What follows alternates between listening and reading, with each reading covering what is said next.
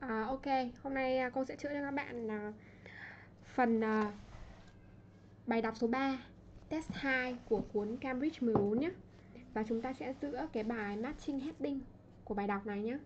Bài đọc này là về why company should welcome this order tức là tại sao các công ty nên um, cứ bình thường cứ bình tĩnh với việc là không sắp xếp mọi thứ theo đúng quy tắc đừng cố cố sắp xếp mọi thứ theo đúng quy tắc à, thì với như cái dạng uh, matching heading thì các bạn nào học cũng đã biết là với với dạng matching heading này chúng ta bắt buộc chúng ta phải đi đọc lần lượt từng đoạn văn một nhé chúng ta bắt buộc phải đi đọc lần lượt từng đoạn văn. Rồi bây giờ chúng ta sẽ đọc đoạn văn A. Organization is a big business. Một tổ chức thì là một cái công ty rất là lớn đó uh, whether it is our life cái phần mà cái gạch ngang hai bên này ấy, thì nó là cái phần giải thích thôi thì chúng ta cũng không cần thiết phải đọc lắm. Nó chỉ là chi tiết để ví dụ thêm thôi. Mà à, có thể là tổ chức cái cuộc sống của chúng ta hay là tổ chức một công ty thì một cái ngành công, cái việc tổ chức này liên quan đến một ngành công nghiệp hàng tỷ đô la này, chúng ta có nhiều cái mục tiêu. Ví dụ như chúng ta muốn tổ chức, chúng ta quản lý thời gian, chúng ta muốn quản lý các dự án và chúng ta cũng muốn tự quản lý những cái mục tiêu của chính bản thân mình và chúng ta được nói rằng là chúng ta nên này, tổ chức cẩn thận ngăn nắp cái công ty của chúng ta, cuộc sống của chúng ta, nhà của chúng ta từng ngày, từng tuần. Nói chung là mình muốn tổ chức tất cả mọi thứ.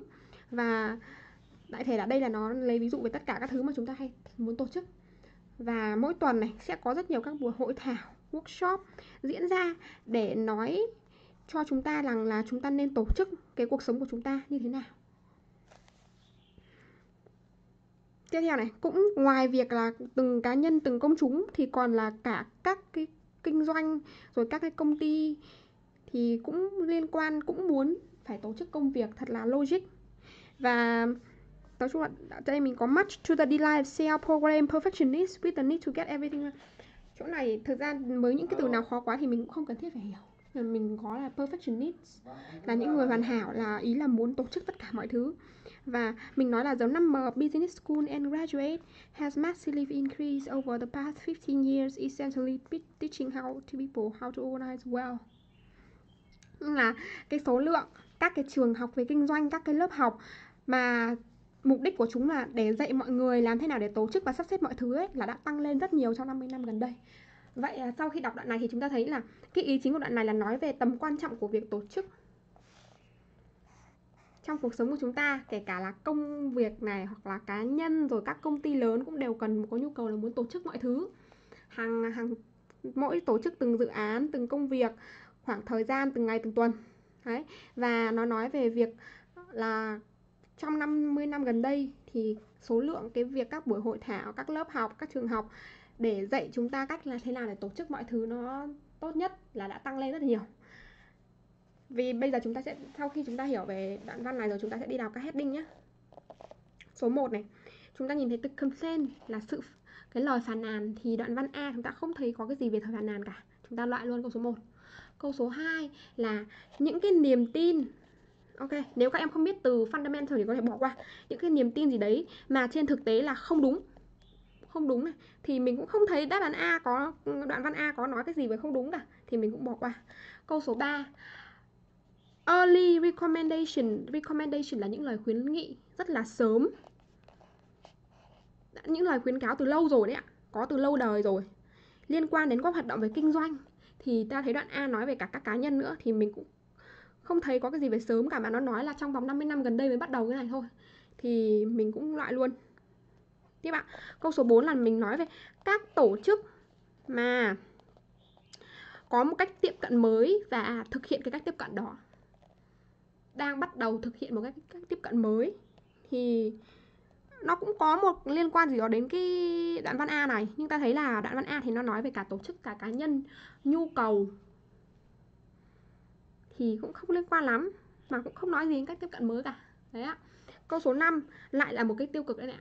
Các công ty mà đã bị một cái thất bại gì đấy vì họ đã thay đổi các cách tiếp cận của họ thì cũng không nói gì đến thất bại đoạn văn A. Câu số 6 này những thứ mà mọi người đang được kỳ vọng là họ phải làm. Càng ngày càng tăng lên. Thế ạ, thì chúng ta thấy increasingly là liên quan đoạn A, tức là trong 50 năm gần đây thì cái nhu cầu sắp xếp càng ngày càng tăng lên. Và cái này nói chung với tất cả mọi người thì nó mới phù hợp với đoạn A. Đấy là đoạn A không chỉ nói về đoạn kinh doanh không mà nói về tất cả các cá, cá nhân tổ chức trường học nữa. Thì câu 6 có vẻ là hợp lý với đoạn A hơn cả năm cái đầu. Câu số 7 làm thế nào để đạt được những kết quả mà không thể đạt được thì cũng không hề nhắc đến cái này. Câu số 8 chúng ta nhìn thấy neither approach. Tức là nếu mà đoạn nào mà có neither approach thì phải, người ta phải đề cập đến hai cách tiếp cận. Và ở đây thì đoạn A cũng chưa đề cập đến cách tiếp cận nào. Và câu số 9 là các bằng chứng mà một cái cách tiếp cận có thể có nhiều bất lợi thì đoạn văn A là mới nói về, mới hiệu chung thì chưa nói gì về lợi ích bất lợi cả. Thì chúng ta thấy có vẻ câu số 6 là câu hợp lý nhất. Chúng ta điền câu số 6 này chúng ta sẽ khoanh tròn này chúng ta đánh dấu những câu nào chúng ta điền rồi đến phần B ạ chúng ta đọc tiếp phần B ạ Ironically, however, the number of business that fell has also steadily increased. Vậy thì chúng ta thấy là cái số có thể các bạn không biết cái từ này. Ok thì cũng không sao cả, chúng ta có thể bỏ qua nhé. Số lượng các cái công việc, các cái công ty mà thất bại thì cũng tăng lên. Thất bại trong việc tổ chức đấy ạ.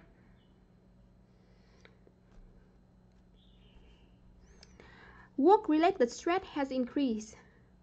Tức là họ tăng lên về cái stress về công việc vì họ không không tổ chức được và rất nhiều người làm việc, nhân nhân viên thì họ không hài lòng, họ nói rằng là họ không hài lòng với cái cách mà công ty của họ được, cái cách vận hành của công ty của họ và cái cách mà họ được quản lý và điều này làm nảy sinh ra câu hỏi này là điều gì đã là, là bị đi sai lệch đi? Và tại sao mà một cái thứ gì đấy trên giấy thì nó có rất là một cái cơ hội tốt? Short chính là bằng cơ hội đấy ạ bằng chance để tăng sự hiệu quả trong công ty. Nhưng mà trên thực tế thì lại thất bại ạ fall short of something tức là không đáp ứng được cái gì kỳ vọng. Vậy chúng ta thấy là khi mà chúng ta tổ chức rồi à, thì trên thực tế lại gây ra stress này. Rồi trên thực tế là rất nhiều người uh, nhân viên lại thấy là bị người ta nói là họ không hài lòng với cái cách mà họ được quản lý hay là cái cách mà mọi thứ được tổ chức ở công ty này. Và người ta mình ta thấy là trên trên trên giấy tờ thì cái việc tổ chức này, này thì có cơ hội làm tăng sự hiệu quả nhưng trên thực tế thì nó lại khiến là không đúng với những cái gì mà đó là kỳ vọng. Vậy bây giờ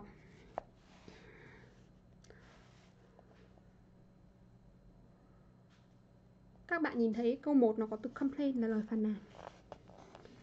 Thì mình cảm thấy nó khá là đúng với một cái à, câu B này bởi vì sao? Mình thấy này người ta phàn nàn này. Các cái nhân viên người ta nói rằng là người ta không hài lòng thì chính là phàn nàn chính là phàn nàn và áp lực tăng lên. Thì mình thấy câu 1 này là ảnh hưởng của một cái cách tiếp cận tức là ảnh hưởng của việc tổ chức đấy thì người ta phàn nàn về cái đấy. Thì cảm thấy câu một khá là đúng nhưng mà mình thử đọc câu 2 ấy. câu 2 như mình đã nói bên trên đấy đấy là các niềm tin mà cảm thấy không không chính xác. Nhưng mà đây mình nói về nhiều niềm tin. Thì ở câu B này mình chỉ nói về một việc là tổ chức thôi thì không phải nhiều niềm tin. Câu 3 cũng nói về những cái khuyến cáo mà được đưa ra từ rất lâu rồi thì cũng không hề nói đến. Câu số 4 là kể về tên các tổ chức thì cũng không nói về các tổ chức. Câu số 5 là họ bị ờ, họ bị một tác động tiêu cực gì đấy vì họ thay đổi cách cách tiếp cận của họ thì mình không thấy về việc họ thay đổi cách tiếp cận câu số 7 là làm thế nào để đạt được các kết quả mà bây giờ không thể đạt được? Thì nó cũng chưa hề nói đến việc là làm thế nào. Câu số 8 như đã nói là nó cũng không hề đề cập đến hai cái cách tiếp cận và câu số 7 cũng không có bằng chứng gì hết. Thì chính vì thế là mình sẽ chọn câu số 1 là mình hợp lý nhất. Là các lời phàn nàn. Như mình đã nói đây là nhân viên người ta phàn nàn là người ta bị stress và người ta phàn nàn là người ta không hài lòng với cái cách công ty của họ được tổ chức và cách mà họ được quản lý. Tiếp bạn đoạn văn C ạ. This has been a problem for a while now. Cái này đã diễn ra một thời gian rồi ạ. Frederick Taylor was one of the forefathers of scientific management. Mình biết đoạn văn này kể về ông uh, Frederick Taylor.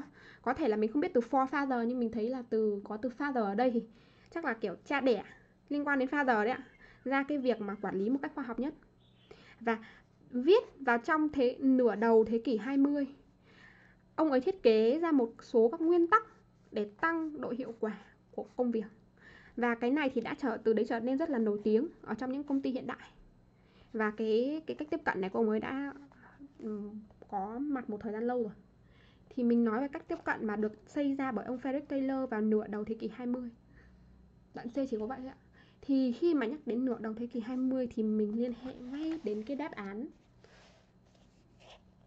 ba la mã, early recommendation, các lời khuyên các cái phương pháp đã có từ lâu đời rồi đấy, nửa đầu thế kỷ 20 ạ vậy đoạn C mình chọn ngay đó câu ba la mã C mình chọn ngay ba la mã D ạ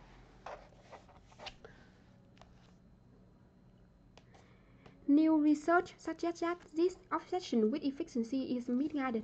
Mình nhìn thấy ngay này. Mình nhìn thấy cái sự là, cái sự ám ảnh với độ hiệu quả. Ám ảnh với sự tổ chức. Như cái phương pháp pháp của ông ấy viết ở nửa đầu thế kỷ 20 ấy thì là misguided. Một cái gì đến sai trái mình có thể từ miss là liên quan đến cái gì nó sai trái. Từ gai là giống như kiểu hướng dẫn ạ, tour gai á. Đấy. Tức là ông ấy dẫn người ta đi một cách sai. Nó không đúng lắm vấn đề của cái đấy là sao tại sao lại sai ạ không phải là cái cách các lý thuyết về quản trị hoặc là cái phương pháp để quản trị mà là vấn đề là chúng ta có một cái giả định rằng cái việc mà chúng ta làm là cứ, mình cứ sắp xếp một, mọi thứ vào một quy tắc thì nó sẽ hoạt động được. Nhưng mà chúng ta thấy này, cái giả định rằng là order order là cái trật tự, cái thứ tự với việc sắp xếp ấy, là một cái điều kiện tiên quyết rất cần thiết để hiệu quả. Và cái giả định này của chúng ta cũng đã làm nảy ra ý tưởng này ID ạ là disorder, tức là việc không sắp xếp mọi thứ ấy, thì sẽ detrimental là hủy hoại đi cái độ hiệu quả của một tổ chức và kết quả là the result is that businesses and people spend time and money organizing themselves for the sake of organizing rather than actually looking at the end goal and usefulness of such an e-, effort. Kết quả là vì chúng ta cứ giả định là khi mà chúng ta tổ chức được mọi thứ thì sẽ hiệu quả hơn và việc là mọi thứ được làm một lộn xộn không tổ chức ấy thì sẽ hủy hoại đến cái độ hiệu quả công việc ấy. Cái điều đấy khiến các công ty và mọi người dành rất nhiều thời gian để đi tự tổ chức lại chính bản thân họ. Chỉ để tổ chức thôi. Hơn là họ thực sự họ nhìn vào cái kết quả, cái mục đích cuối cùng là phải làm được công việc. Và độ hiệu quả của cái việc là họ tổ chức vậy nó có hiệu quả hay không. Đấy. vậy à, đoạn D mình nói về cái phương án tiếp cận bên trên ấy là cái việc mà tổ chức người ta nói về giả định là tầm quan trọng của việc tổ chức và khiến cho dẫn đến một cái bất lợi đấy là người ta cứ đi tổ chức mãi mà người ta cũng không thấy đạt đến sự hiệu quả và mình không tập trung vào cái mục đích cuối cùng là mình làm được công việc vậy bây giờ mình nhìn cái câu các cái heading thì mình thấy có câu 2 ạ. Câu 1 là mình đã chọn rồi, vào đoạn B rồi mình đã khoanh rồi nhá. Ba la mã là mình cũng đã khoanh rồi nhá. Vậy bây giờ mình đọc từ trên xuống rồi, mình đọc câu hai la mã. Những cái niềm tin mà thực ra là không đúng thì mình có vẻ thấy có khá là hợp lý với cái đoạn văn D này bởi vì mình thấy về những cái niềm tin mình người ta đặt ra các cái giả định hai giả định là giả định thứ nhất là việc tổ chức tốt thì sẽ dẫn đến hiệu quả tốt và tại định thứ hai là nếu mà không tổ chức thì sẽ hủy hoại đến cái độ hiệu quả làm mình hoạt động không hiệu quả nữa thì hai cái niềm tin và mình mình thấy cái này, This obsession with efficiency is misguided được ngay ngay từ câu đầu tiên ạ. Cái này là sai trái ạ. Và khiến cho mọi người là cứ tập trung vào đi tổ chức mà không tập trung vào cái kết quả cuối cùng, cũng như là độ hiệu quả. Đấy. Thì mình thấy là Anna có vẻ khá là đúng. Nhưng mình cứ đọc đáp án 4 nhé. Câu 4 là mã heading số 4 thì mình thấy là mình, câu 4 thì mình phải nói về các tổ chức thì ở đây ông không hề nói về các tổ chức câu số 5 là như đã nhắc lại là các công ty mà thay đổi các sự tiếp cận thì cũng chưa hề nhắc đến công ty nào cả. Câu 7 La Mã là phải how, tức là nó phải đề cập ra một cách làm thì cũng không hề có cách làm. Câu số 8 La Mã thì có hai cái cách tiếp cận thì cũng không có nhắc đến. Và câu số 9 La Mã là bằng chứng thì thực ra đấy chưa đưa ra một bằng chứng gì cụ thể cả. Đấy. thì câu đoạn văn D có vẻ hai La Mã là hợp lý nhất ạ. Vậy mình lại tiếp tục khoanh vào hai la mã là mình đã làm rồi nhé rồi đoạn văn e What is more, recent studies show that order actually has diminishing returns. Vậy thì những cái khảo sát gần đây lại chứng minh rằng là order chính là việc sắp xếp mọi thứ đấy ạ. Thực ra là có những cái return là những cái gì mà trả lại cho mình những cái kết quả ấy, nó diminishing gây thiệt hại, gây hủy hoại mọi thứ là không cho mình hiệu quả nữa orders does increase productivity to a certain extent đến một cái mức độ nào đấy thì order cũng tăng độ hiệu quả công việc nhưng đến eventually này cuối cùng này The usefulness of the process of organization and the benefit it yields reduce until the point where any further increase in order reduce productivity. Nói chung là đầu tiên là đến một mức độ nào đấy thì nó cũng tăng lên hiệu quả công việc nhưng cuối cùng ấy ạ thì cái độ hiệu quả của cái quá trình tổ chức này này và cái tất cả các các cái lợi ích mà nó gây ra ấy, thì lại giảm đi đẹp đi và sau khi mà cứ cứ mình cứ đi tổ chức nhiều ấy ạ thì này any further increase in order tức là mình cứ tăng cường trong cái việc tổ chức thì lại mình càng giảm độ hiệu quả công việc đi và một số người nói rằng trong một công ty ạ, if the cost of formally restructuring something outweighs the benefit of doing it, then that not to be formally structured. Tức là bây giờ mình khi mình tổ chức công ty, mình tái cấu trúc một công ty ạ, cái giá của việc tái cấu trúc cái công ty đấy á, lại còn nhiều hơn cái lợi ích mà khi mình tái cấu trúc đem lại á, thì cái công ty đấy không nên được tái cấu trúc ạ. Thay vì đấy những cái tài nguyên mà để mình đi tái cấu trúc mình tái tổ chức công ty ấy thì nên được sử dụng tốt hơn ở những cái chỗ khác. Thế đoạn E mình xem trang sau của đoạn E Trang sau đoạn F ạ Đoạn E. Vậy bây giờ mình nói về việc là Chứng minh về cái việc là Khi mình tổ chức thì mình lại còn làm Giảm đi hiệu quả công việc Đấy ạ, Thì mình, người ta chỉ nói về cái đấy thôi ạ Vậy bây giờ mình thấy câu E này, Nó cũng, Câu số 4 nhắc nhắc lại là phải kể với các tổ chức Thì cũng không có việc tổ, kể với các tổ chức Câu số 5 thì phải nói về một công ty mà đã thay đổi các tiếp cận thì cũng không có. Câu số 7 là làm cách nào để đạt được thì cũng không thấy. Và câu số 8 là nói về hai cái cách tiếp cận thì cũng chưa có, mà câu này là nói về cái việc mà người ta cứ tổ chức nhiều thì lại đi mất độ hiệu quả. Và khi tái cấu trúc một công ty rất nhiều các nguồn lực thì nó lại không làm đưa ra cái lợi ích mong muốn và đáng lẽ là công ty đấy không nên được tái cấu trúc và nên sử dụng các nguồn lực ở chỗ khác. Thì nè, mình nhìn câu số 9 ạ là bằng chứng người ta nêu lên liệt kê đưa ra một ví dụ để bằng chứng là cái cách tiếp cận đấy có thể có nhiều bất lợi hơn là lợi ích ạ. Đấy. thì bất lợi của nó chính là mình giảm độ hiệu quả nó không không có lợi ích nhiều cái bất lợi là cái chi phí của nó lại còn nhiều hơn cái lợi ích đây ạ. Chính là câu the cost outweigh the benefit. Thì chính là cái phần mà bất lợi nhiều hơn lợi ích ạ. Vậy câu E mình chọn được cái heading số 9 mình khoanh vào đây. Với đoạn F ạ. Đoạn F ạ. In fact Research shows that when innovating, the best approach is to create an environment devoid of structure and hierarchy and enable everyone involved to engage as one organic group. Nè, trên thực tế là cái các khảo sát đã cho rằng này, khi chúng ta phát triển công ty ạ, thì cách cái phương pháp tiếp cận tốt nhất là tạo ra một môi trường devoid of something là không có cái gì ạ không có các cấu trúc không có sự sắp xếp theo mức độ và cho phép tất cả mọi người liên quan đến công việc có thể cống hiến cho công việc như là một cái tổ chức thống nhất This environment can lead to new solutions that under conventionally structured environment would never be rich. Thì chỗ này nó cũng là một cái mở ngoặc đơn như kiểu là để mình ờ, giải thích thêm thôi ạ. Thì mọi người cũng không cần thiết đọc cái phần đoạn đóng mặc đơn, mở đơn này. Thì mình chỉ thấy là những cái môi trường này, những cái môi trường mà không có cấu trúc hay không có cấp bậc ấy, thì có thể dẫn đến những cái giải pháp mới mà dưới cái cái môi trường có cấu trúc hiện nay. Tức là có các cấp bậc rồi là uh, quy luật các thứ thì sẽ các cái giải pháp đấy sẽ không bao giờ người ta tìm thấy. Đấy, mọi người nhớ nhá. Đây này khi người ta xây một môi trường mới mà không có cấp bộ không có cấp độ không có thứ bậc ấy thì có thể dẫn đến có những cái phương pháp mới có những giải pháp mới. Mà với cái cấu trúc hiện nay ấy thì sẽ người ta sẽ không bao giờ tìm được những giải pháp đấy cả. Đấy là đại em muốn nói như vậy. Vậy thì mình thấy rất là rõ về cái phần mà câu số 7 là mã.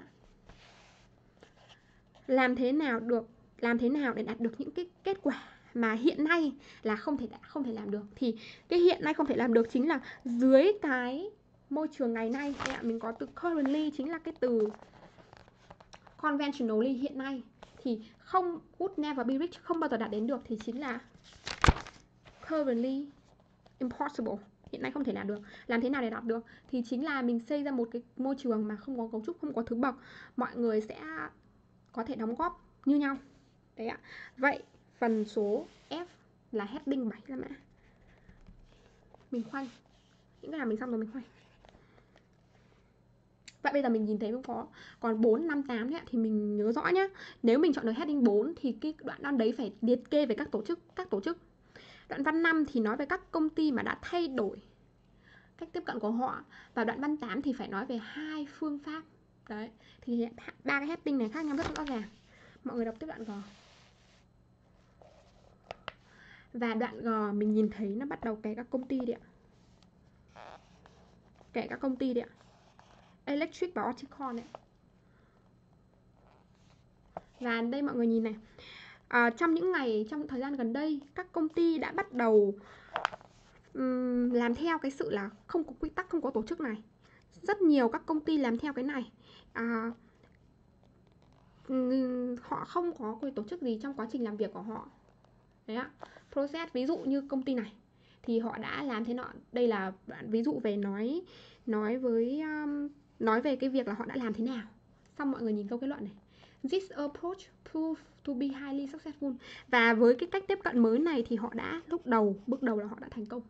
Với cái sự tiến bộ trong cái hiệu quả của công nhân dạ. tương tự như vậy thì công ty này cũng vậy. Họ cũng đã làm theo phương pháp là disorganization không tổ chức quá nhiều. Và cuối cùng là họ cũng đã là thành công. Đây ạ. Họ đã glue people together. Strong company này, làm một công ty mạnh. Và các nhân viên thì họ đoàn kết với nhau. Đấy. thì mình thấy câu G này, nó nói về các công ty. Mà đã có một phương pháp mới là không organization nữa, mà theo phương pháp là disorganization, mà họ đã thành công. Đấy ạ. Vậy thì mọi người nhìn thấy này, khi kể về các công ty như đã vừa tổng hợp ấy thì chỉ liên quan đến câu 4 và heading 4 và heading 5 thôi. Nhưng mọi người nhìn heading 5 này, đây là các công ty mà suffer là mình nói về một cái gì đấy tiêu cực, tức là họ đã bị một cái hậu quả tiêu cực gì đấy vì họ thay đổi. Nhưng mà cái đoạn vừa nãy mình đọc ấy ạ, đoạn G ấy thì đó lại một các công ty thay đổi nhưng họ tốt. Đấy ạ. Vậy thì câu 5 không phải mà là câu 4. Các tổ chức đã tiến hành là thực hiện theo một cái cách tiếp cận mới đấy chính là disorganization mà đã thành công nhé thì mình chọn được câu G là 4 ha mã. Vậy H chỉ còn lại là 8 hoặc là 5 thôi. Đấy 8 là nói về hai cách phương pháp tiếp cận và 5 là nói về ờ, các công ty. Thì mình thấy phần H ở Oh, ờ, what about này? Sau khi người ta nói về lợi ích của việc disorganization thì người ta warning tức là cảnh báo này. Đừng có jumping on this bandwagon. Mọi người đừng có vội đưa ra kết luận. này Ok.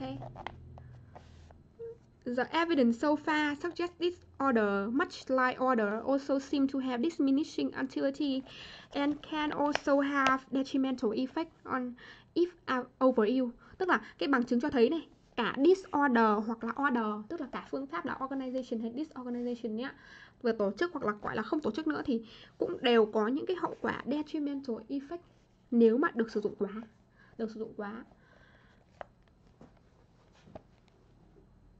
Và mọi người nói đằng sau này, mình lấy là, like order disorder should be embraced only so far as it is useful. Tức là nó nói là giống như cái việc là tổ chức ấy, thì cái việc mà không có tổ chức này thì cũng chúng ta cũng nên thực hiện.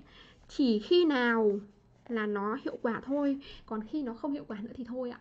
Đấy ạ. Tức là nó nói về hai cái loại này và nó nói là cho dù ta nói những cái bên trên thì kể cả hai cái này nếu chúng ta sử dụng quá nhiều thì nó cũng sẽ gây ra những cái detrimental effect, những cái hậu quả không tốt và chúng ta chỉ nên sử dụng nó, miễn là nó tốt thôi Đấy. vậy là bạn H đã nói về hai cái hai cái phương án này, là đều có thể tốt nếu mà sử dụng vừa đủ và chỉ nên sử dụng khi nó nó tốt thôi Đấy. vậy thì nó nói là hai phương án này đấy ạ bài 8 đấy ạ. cả hai phương án này đều không đảm bảo được sự tăng liên tục, mà nếu mà sử dụng nhiều quá thì nó cũng sẽ gây ra hậu quả không tốt vậy H là 8